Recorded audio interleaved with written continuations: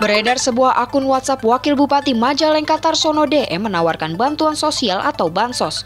Pesan WhatsApp tersebut ditujukan kepada pondok pesantren dengan modus akan menjembatani bantuan sosial berupa donasi kepada pesantren.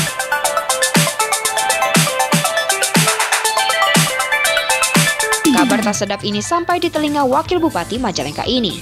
Saat dikonfirmasi melalui pesan singkat oleh kumparan, ia pun buka suara.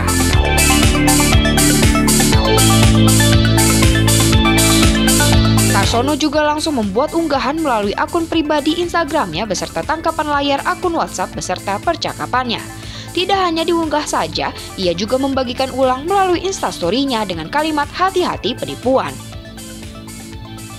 Saat ini belum ditemukan adanya korban yang dirugikan, sebab calon korban yang cukup dikenal langsung menghubunginya perihal memastikan kebenarannya.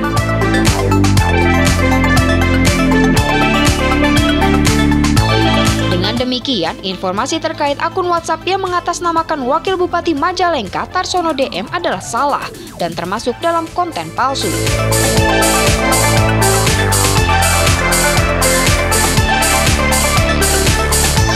Jadi kesimpulannya, hasil periksa fakta Rahma Anissa dari UIN Sunan Ampel Surabaya, informasi tersebut adalah salah.